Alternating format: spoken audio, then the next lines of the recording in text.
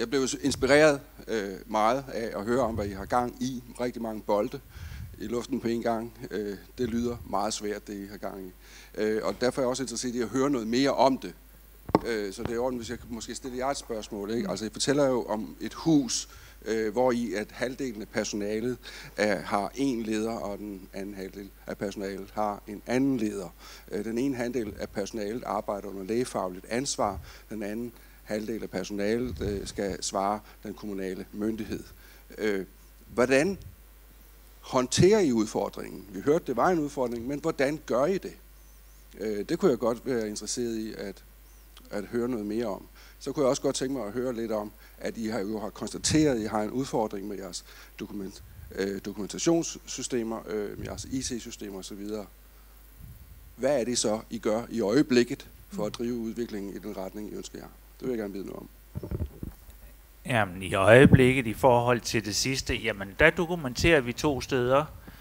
Altså vi gør egentlig som vi har gjort hele tiden, for vi har jo dokumenteret to steder hele tiden. Det bliver bare mere og mere oplagt, at øh, når der er en fra en kommune og en fra en region, der egentlig for eksempel har en fælles samtale, så ville det jo være smart, at en kunne lave den fælles dokumentation. Men øh, så, så vi gør det, som vi altid har gjort det, men det er jo ikke, det, er jo, øh, det skulle gerne øh, blive bedre. Nå, okay. I, i, I første omgang, så er vi ved at finde ud af de steder, hvor der er noget, øh, der gerne skulle øh, være bedre, og derefter så skal vi jo se at beskrive det, og så skal vi have sat vores øh, ledelser, og de skal have sat deres ledelser i gang, og jeg tror, at nogle af de her ting, det skal ind på national plan, for at man kan øh, lave de her systemer. Men vi skal jo have nogle gode cases, vi skal have nogle gode og klare formuleringer. Hvad, hvad er det så, vi gerne vil have? Og, og det, det er vi på vej til at beskrive omkring to akutte pladser, vi har, og i forhold til psykoseteam og bostøtteteam, som arbejder sammen, hvad er det for nogle konkrete udfordringer? Man kan sige, det, det, når du spørger ind til, og vi sådan er lidt vævende, så er det et af de steder, du kan godt høre, at vi er kommet langt. Her har vi et indsatsområde, som vi kan, vi kan godt presse mere på.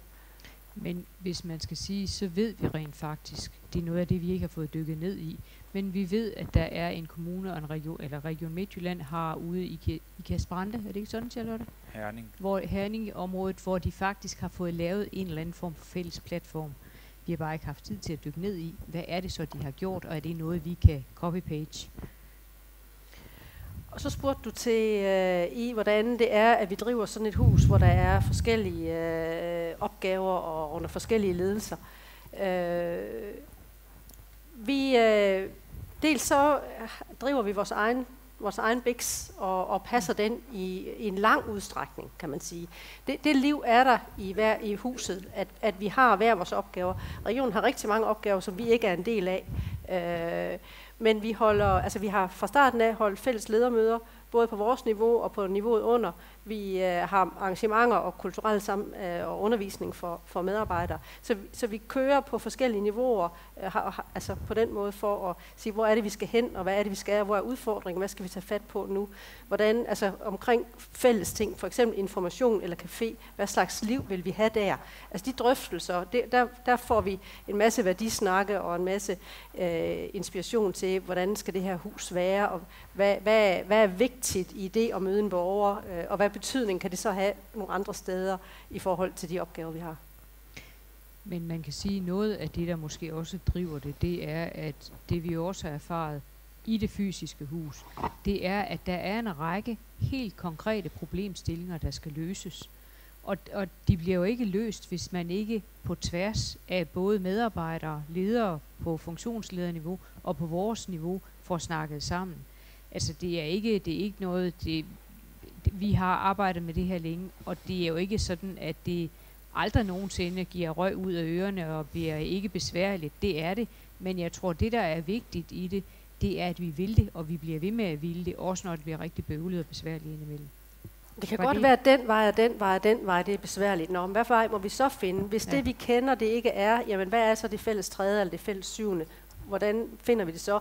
Eller også lader vi noget ligge, så er vi pragmatisk indimellem og sige, det der det er for besværligt lige nu, så går vi i gang med det her, fordi her er der, her er der grønt lys. Og når vi siger, at der er udfordringer, så er det jo fordi, vi møder dem, og det der, der er noget bøvl. Men, men, men vi fortsætter jo, selvom bøvlet er der, mm. og siger, at det, det er sådan set ligegyldigt. Vi må finde ud af det, og vi så har to dokumentering, jamen hvad, altså, hvordan er det så, vi, vi, vi, det det er borgeren, det er patienten, vi skal løse det for. Og så må vi gå hjem, og, og så nogle gange gør vi ingenting, og nogle gange gør vi noget, og noget fortæller vi ikke altid om.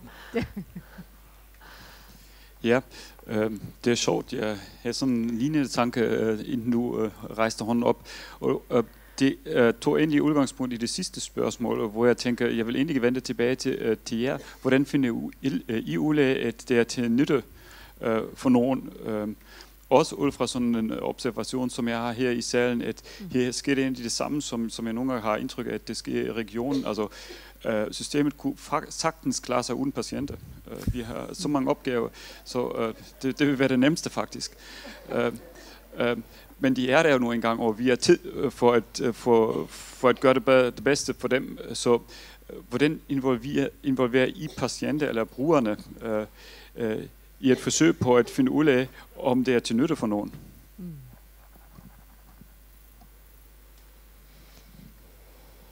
Man kan sige, akut døgntilbud, som jo er det samarbejdsprojekt, vi internt har haft længst, der har de været ude af flere ombæringer, øh, simpelthen at spørge patienterne. Men det er, jo, det er jo ikke, der kan man sige, at akut døgntilbud bygger på den led, ikke på åben dialog. Der, hvor vi har brugt åben dialog mest, det har været i forhold til integreret overgang. Men akut døgn vil jeg alligevel vende tilbage til, fordi der har de været ude og spørge, hvordan fungerer det her? Og lige præcis det der med, at vi ikke flytter dem fra en seng til en anden, det er faktisk, fordi borgerne har sagt, jamen det er nu meget godt det der med, at de kan finde ud af samarbejde, men hvorfor i himlens navn skal vi flytte fra den ene ende af bygningen til den anden, bare fordi vi skal i en anden seng? Nå ja, forresten, det var måske heller ikke så smart. Så vil jeg gå over til integreret forløb. Og der har vi jo ligesom jer ikke nogen endelig rapport endnu. Men de, øh, de fokusgruppeinterviews, der har været lavet indtil nu med de borgere, der har været igennem det, det er, øh, nej, nu, nu tror jeg, jeg overdriver, der er ikke lavet fokusgruppeinterview endnu, men der er kommet nogle tilbagemeldinger fra nogle af dem, der har været med i Åben Dialog, der netop beskriver den helt anden måde at være aktiv ind i sit eget i sin egen rehabiliteringsplan, hvis man skal sige det med et lidt stort ord. Øh, og det, det er jo sådan nogle af de indikatorer, der er på, at det nytter noget. Det vi selvfølgelig også tænker, det er, øh, nytter det også noget, vi kunne godt have en ambition, der hedder, nytter det også noget på det samfundsmæssige, eller et samfundsøkonomiske niveau. Det er straks en mere langhåret diskussion, og der har vi ingenting